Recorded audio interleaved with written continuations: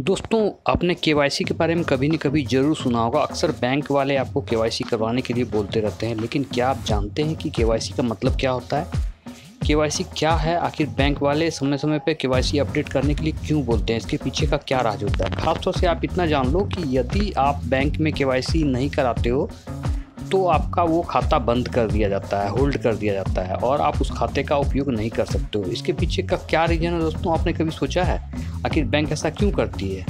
Bank ऐसा करने के पीछे बहुत बड़ी बात यह है कि यदि आपने बहुत दिनों से अपने बैंक खाते का के नहीं कराया तो हो सकता है कि आपके एबसेंट में या फिर आपके ना रहने पे या फिर आपका बैंक अकाउंट का कोई मिसयूज कर रहा हो। कई बार ऐसा होता है कि लोगों की मृत्यु हो जाती है और वो अकाउंट फिर भी चलता रहता है। तो इसके लिए बैंक समय समय पे के के लिए प्रेशर बनाती है अपने क्लाइंट पे कि भाई के कराओ। अगर आप नहीं कराओगे तो आपका बैंक अकाउंट को बंद कर दिया जाएगा। बैंक वाले ऐसे भी बोलते हैं और आखिर में बैंक अकाउंट आपका बंद भी कर दिया जाता है यदि आप के नहीं कराते हो तो। तो इसके पीछे का राज यही है दोस्तों कि आपके आपके अपने ही खाते का मिसयूज ना हो, इसके लिए बैंक वाले आप पे प्रेशर बनाते हैं कि भाई के कराओ। समय समय पर के कराने से ये होता है कि जो फ़र्स्ट पार्टी है, यानी जिसके नाम पर अकाउंट है, वो खुद आता है बैंक अकाउंट अपना लेके और साथ ही वो आधार कार्ड, पैन कार्ड या फिर आधार कार्ड, पैन कार्ड के अलावा आप बैंक अकाउंट के साथ दे सकते हो, वोटर आईडी।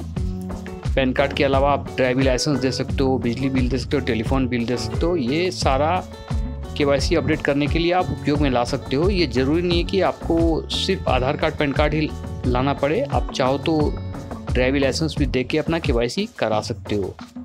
के कराने के पीछे बस यही खास बात यही होती है कि आपके खाते का कोई मिसयूज तो नहीं हो रहा है। कई बार अपने सुना होगा, कई बार लोग बोलते हैं कि पेंशन उठाने में जा रहा हूँ एक तारीख को।